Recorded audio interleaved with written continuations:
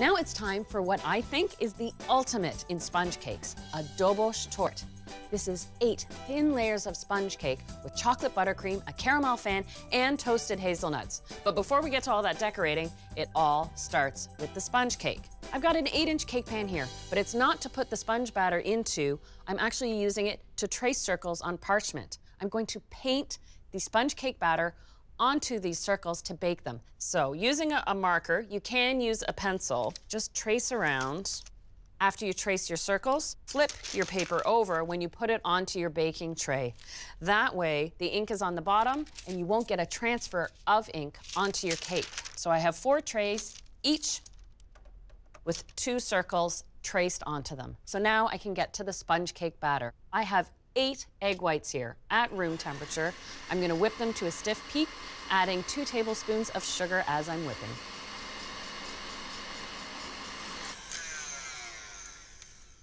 I'll set the whites aside, and now I'm ready to whip the yolks. And I have the eight yolks from the whites I separated, plus an additional two yolks, so 10 yolks in total. I'll add to this a cup of sugar and a teaspoon of vanilla and whip this until it's thick and rich and doubled in volume. This will take about five minutes.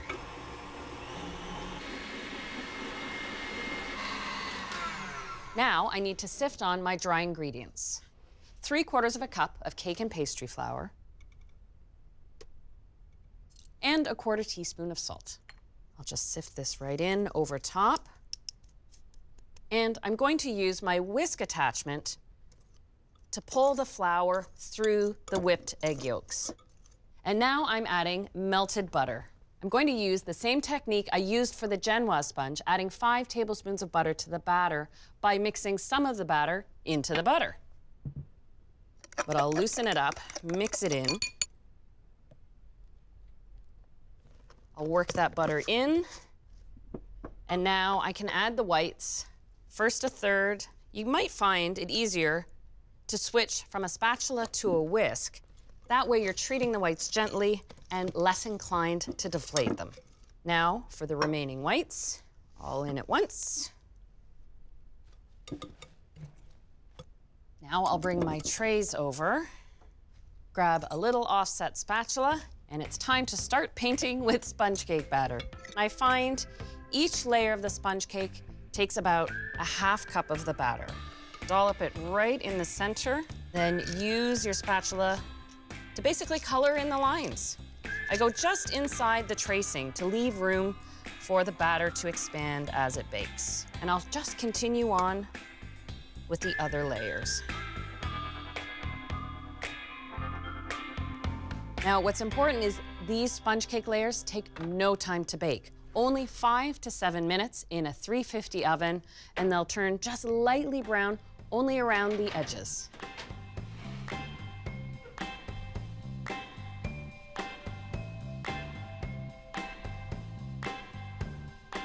Here we go. Those sponge cake layers are ready to come out. But now it's time for me to get the buttercream ready while the cake layers are cooling. So I'm going to separate five yolks. What's important is that your eggs are warm. So just like I warmed my eggs in their shell to make that genoise sponge, I do the same for this buttercream frosting. Pop this on the mixer and I'll whip the egg yolks on high speed, this time with a quarter cup of sugar.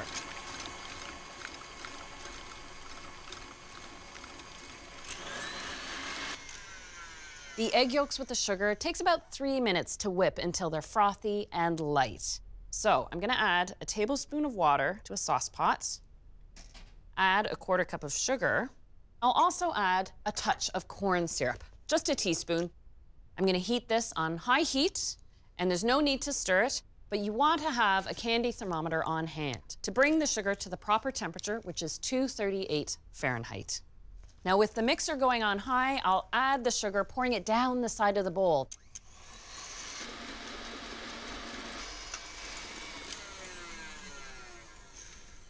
Once you've poured in the hot sugar, you want to whip the egg yolks with that sugar until it cools to room temperature. I'll let this go for another minute while I'm measuring a cup of butter to have ready to add, making this truly a French buttercream. There we go. That egg mixture is cool to the touch, so I can add my butter. So with the mixer running, I'll add it a piece at a time until it's fully incorporated.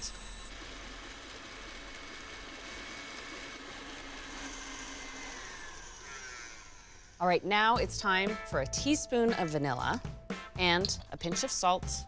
Give it a quick mix. I'll add five ounces of melted chocolate. This is bittersweet chocolate that's been melted and cooled to room temperature.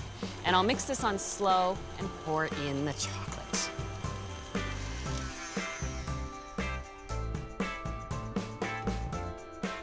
Oh, this is so decadent and rich. And now to get ready for the caramel fan. I've got a tart ring that's seven inches across. To get it ready, I'm just gonna dip a paper towel in a little bit of vegetable oil and just lightly grease it. I'll set this on my parchment paper and I'm ready to make some caramel. Half a cup of sugar, and I'll put this half a cup of sugar in my pot with just a couple tablespoons of water. And just about a tablespoon of corn syrup when caramelizing sugar, you want to boil it on high heat, uncovered and without stirring.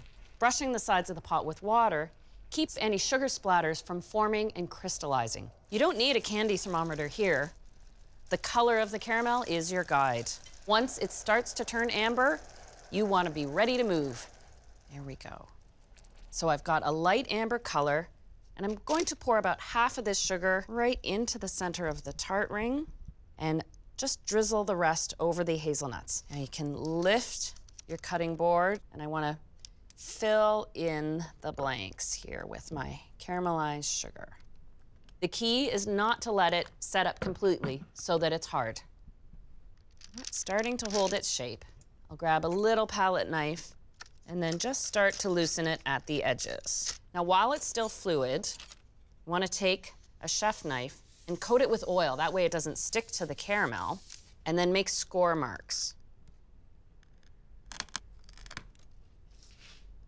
I like to go over those score marks once or twice as the caramel is setting. Got my cake wheel with a cake board. I have my cooled cake layers. You just peel away the paper and you start assembling. You want to keep the buttercream layers thin and sheer. You have the delicate sponge cake layers, and the buttercream needs to match in that delicate thinness.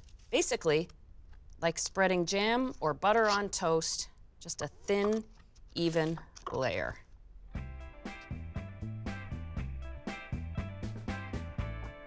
Now I cover the top and the sides of the cake, but don't worry if it doesn't look precise and perfect on the sides. The function of the hazelnut praline is to completely cover the sides of the cake.